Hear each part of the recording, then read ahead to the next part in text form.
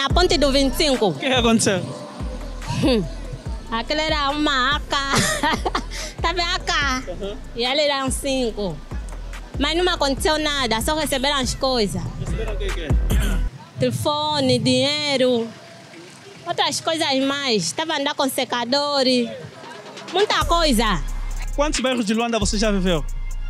Hum, cinco. Vive na cada renda, né? Não, atualmente não, já não. Vivia, já não. Vive na cada renda. Yeah. É chato, né? É muito chato. Por favor, minha prima, diga-me só qual é o bairro que eu posso viver? Qual é o bairro que você recomendaria? Você quer saber sobre isso? Fique até o final do vídeo porque você vai conhecer as histórias dos bairros mais terríveis de se viver em Luanda. Eu sou o Francisco Venâncio. Se é a tua primeira vez aqui, não esqueça de inscrever-se no canal, ativar o sininho e compartilhar o máximo que puder este vídeo com os teus familiares, amigos e aqui, principalmente aqueles que estão fora de Luanda. Para quando eles voltarem aqui, escolherem o lugar ideal para se viver.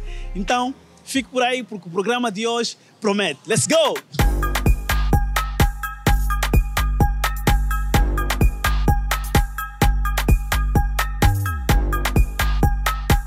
Quantos bairros de Luanda você já viveu? É, praticamente três. Já vivi em do dois bairros. Vários. Eh, não tenho assim um número determinado. Mas já viveste em muitos bairros? Sim. Vivi em dois bairros de Luanda. Hum, cinco. Vive na cada renda, né? não, atualmente não, já não. Vivia, já não. Vive na cada renda. Yeah. É chato, né? É muito chato. Tá fixe. Qual é o bairro mais perigoso de Luanda para você? Para mim, Cacoaco. Por quê? Cacoaco. Então na ponte do 25, ah, é um show. Tem muitas bandidades. Muita. O bairro mais, mais perigoso é o Rochapinto. Por quê? Tem muita bandidagem. Sério. Aquele bairro tem mesmo muita bandidagem. Eu, eu, resi- eu, tipo, eu residia lá, acho que já residi tipo, lá mais de sete anos, que agora estou aqui no, no Zango. Para mim é Casenga, Por quê? Porque praticamente tenho frequentado muito lá.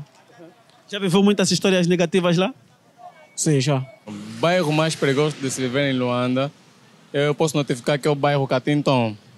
Por quê?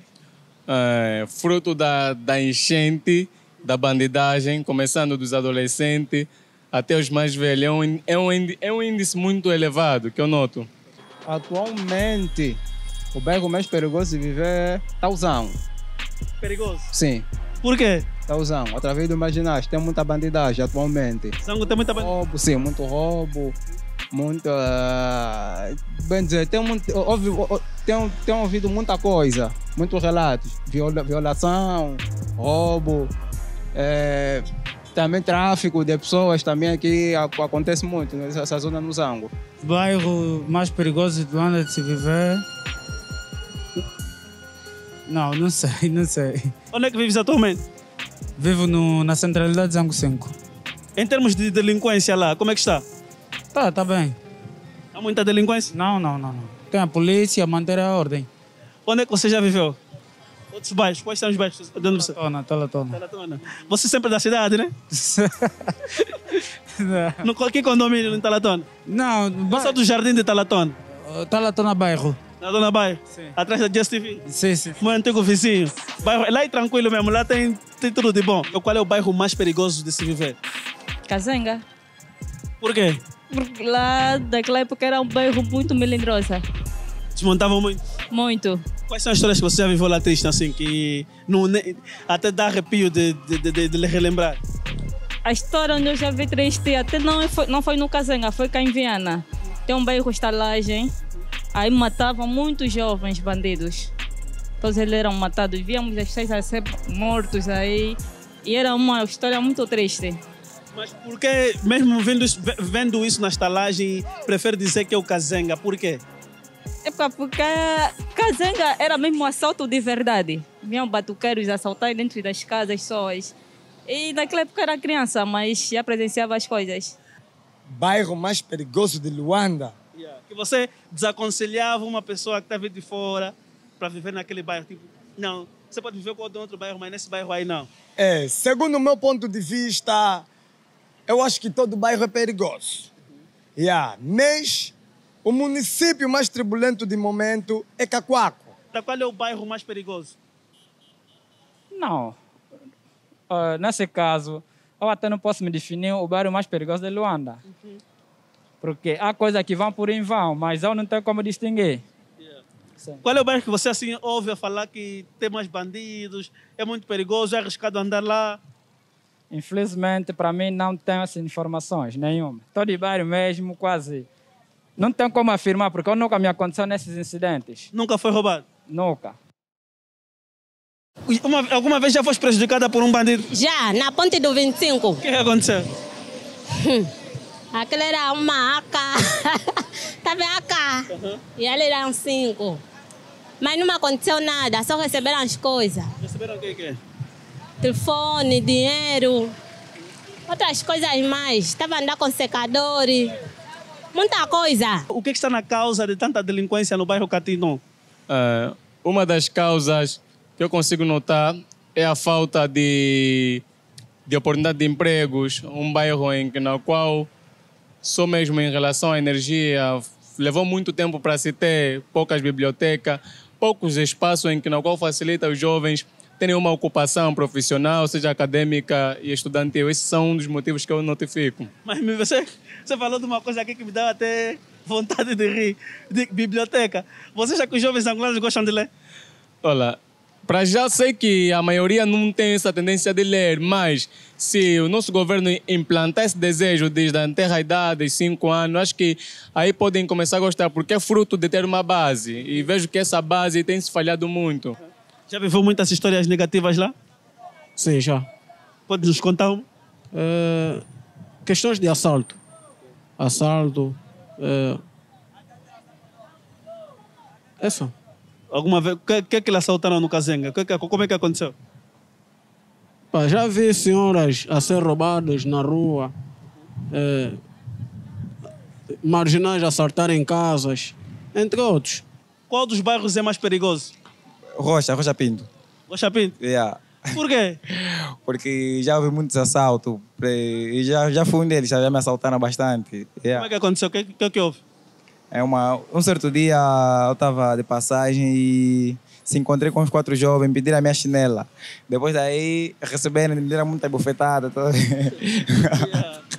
E agora vive onde? Aqui no Zango. Zango. O Zango para você é um bairro tranquilo, nem por isso também tem muita bandidagem, coisa assim? Não, no meu caso eu digo que é tranquilo, sabe? Eu vivo no Zango 2, já.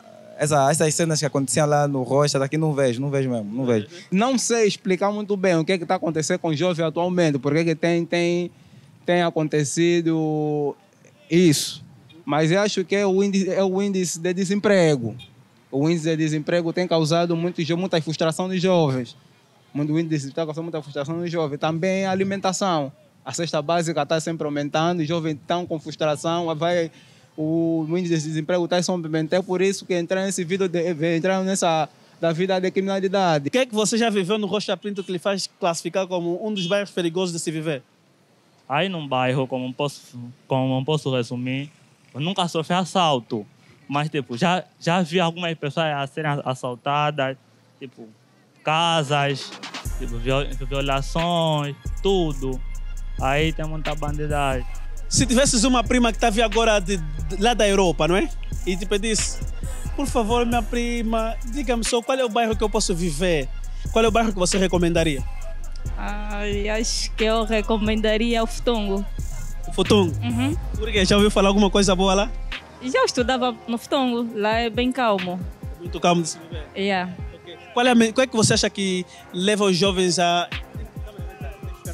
O que, que é que você acha que leva os jovens nesse, nesse mundo de delinquência?